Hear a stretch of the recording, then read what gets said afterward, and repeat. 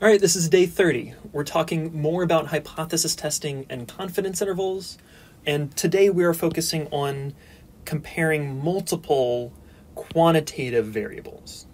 When we started talking about hypothesis testing last week, we were working with a single population, and we started off with categorical variables.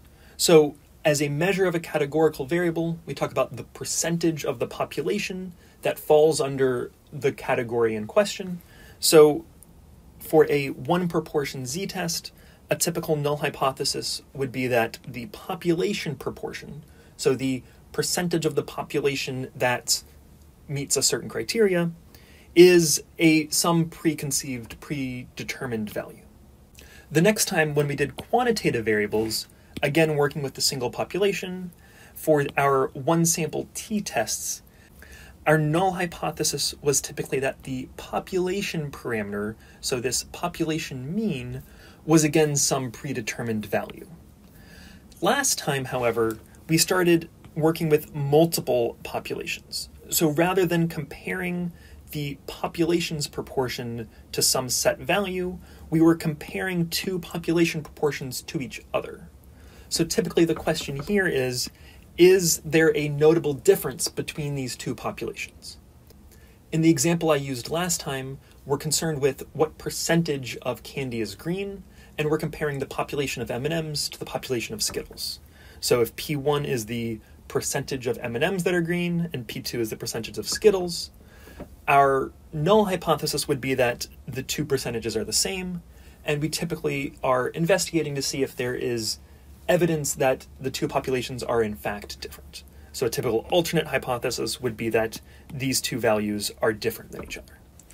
Today we're working in this lower right-hand quadrant. We're working with multiple populations and we're doing quantitative variables. So here we're actually getting two hypothesis tests for the price of one.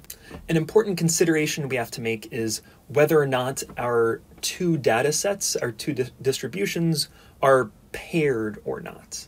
And more on what, exa- what exactly that means coming up. So we'll certainly talk more about what I, what I mean by paired in a little bit, but the just to give names to these tests, the first one is the one that you would expect given some basic pattern matching. We're now working with two samples and it is quantitative, therefore it is a t-test. There is an implied unpaired tag on this test um, but we typically don't bother saying that. When we say two sample t test, it's usually implied that it's unpaired. Again, I think we could probably guess what a typical null hypothesis would be here, and that's just that the population parameters for two different populations are in fact the same. So our null hypothesis is that the average of population 1 and the average of population 2 are in fact the same thing. Again, if our data is paired, we'll do something a little bit different. So when we talk about two populations, often what we mean is that they are in fact two separate groups. Say we're measuring something about Swarthmore students versus Haverford students, or cats versus dogs, Skittles versus M&Ms, etc. And in those cases, we could identify some parameter, so the average lifespan of cats versus average lifespan of dogs, or the percentage of M&Ms that are green versus Skittles. And then the questions that we ask are typically is there evidence that these two populations are different with respect to this given variable? So each of those I would say are examples of unpaired data sets. Let's take the cars versus trucks example. If the variable that we're measuring is the fuel economy, let's say in miles per gallon, we could have some data sets of cars and some data set of trucks, and what we're concerned with is what is the average fuel economy amongst the cars compared to the average fuel economy amongst the trucks. This is unpaired in a sense because each row doesn't necessarily mean anything. Car 1 isn't related to truck 1 in any way. There's, this is in contrast to paired data sets, which often happen when you have a single individual doing something in different ways. All right, so if we have a similar example, we're again interested in fuel economy, but now the question isn't between the population of cars and the population of trucks, The question is between the situation where we're using these snow tire chains. So if you've lived anywhere where it snows, you typically have seen these uh, chains that you literally put around your tires. It gives you extra traction. The reason you don't always have the chains on there is that typically it's going to reduce the fuel economy. So if we have a question like, does using the fuel chains actually reduce fuel economy? We can run a hypothesis test, and it might make sense here to use a paired data set. And what I mean by that is we might have our first car go and measure its fuel economy both with and without the chains. Maybe we'll see something like this. Again, this might be in miles per gallon. And then the same type of thing is true for some rest of the data set. So again, the important part is that we are comparing a single data point in one group to another data point in the other group. And because it's the same car, this is going to help us isolate the difference between the two groups. So typically we will use paired data sets when they're when we're testing something that it's possible to have a single individual do it in multiple different ways. This typically gives us a more direct comparison, helps us make a stronger conclusion. That said, it's often not possible to set it up this way, just depending on what type of question we have. Okay, let's first talk about the unpaired example. We'll use the same example that we were just talking about. We are concerned about the fuel economy between two different groups, the cars versus trucks.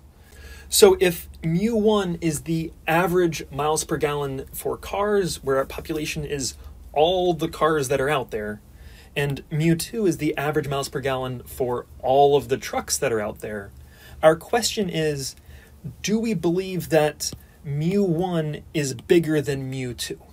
Again, I keep saying this, but it's so important. Whenever we use mu, we're talking about a population, in this case, the big picture of all cars or all trucks we're averaging the fuel economy across the entire population. To answer this, we could literally measure the fuel economy for every car and every truck in existence. That certainly sounds not feasible.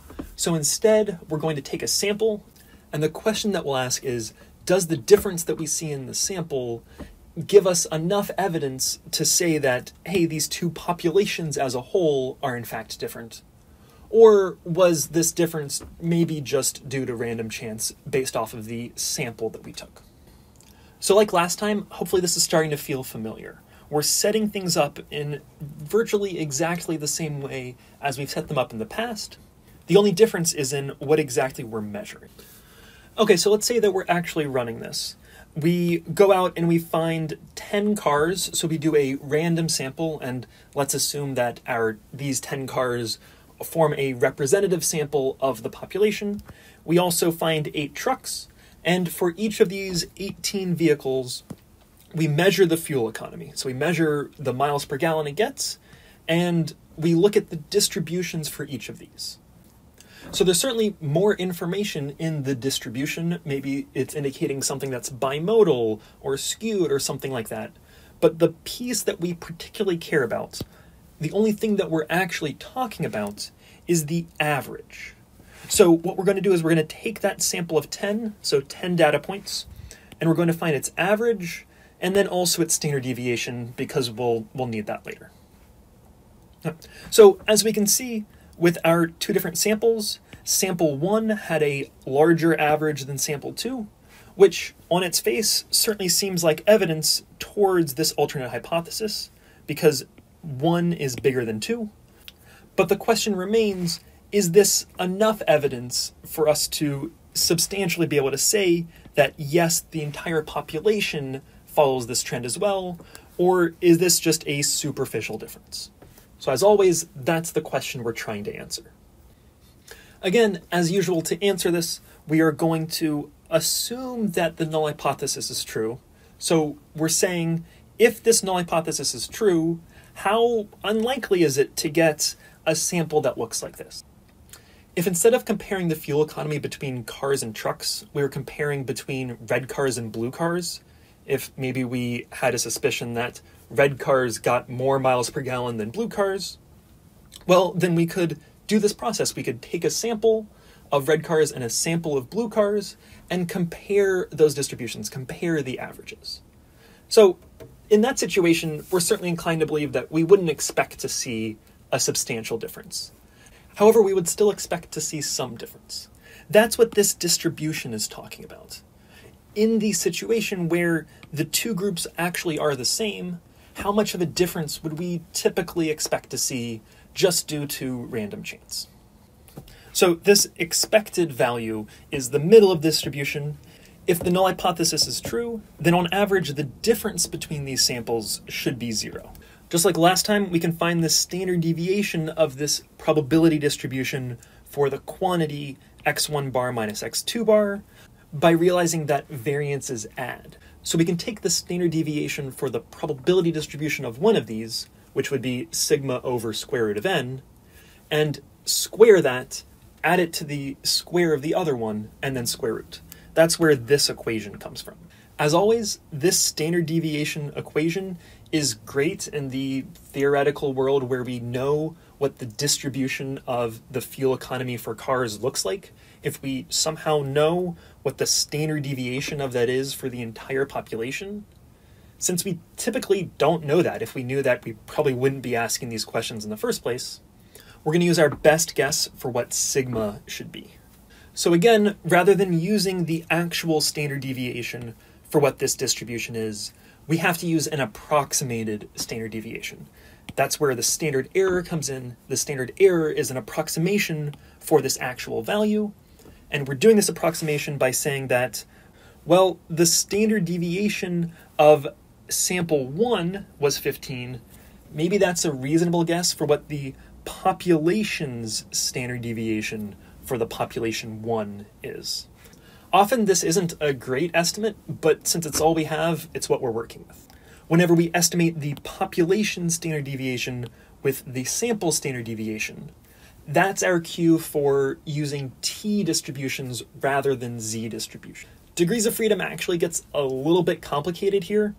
Normally, the degrees of freedom is the sample size minus 1, since we've got two different groups, potentially with two different sample sizes, we found 10 cars but only 8 trucks, well, the degrees of freedom is actually going to be sort of a weirdly complicated formula. Please don't write this down. You pretty much never need to know this, but if you're really curious, this is how you would find the appropriate degrees of freedom in this context. For any question that I ask, I'll give you the degrees of freedom in this context. Alternatively, if you use R or a calculator or something else to do this t-test for you, then it's going to do all of this sort of behind the scenes. I'm not going to work through the rest of the details for this particular hypothesis test, namely because we've worked through questions just like this before. The one last piece that I wanted to mention is that we have another assumption that we need to pay attention to. So, just like all of the assumptions that we had left over from the one sample t test, for our two sample t-tests, we have the extra condition that we want to make sure that the different distributions are independent of each other, not only independent within their own groups. This is sort of a fancy way of saying we're assuming that we're not dealing with paired data. If we're dealing with paired data, we have to do something entirely different.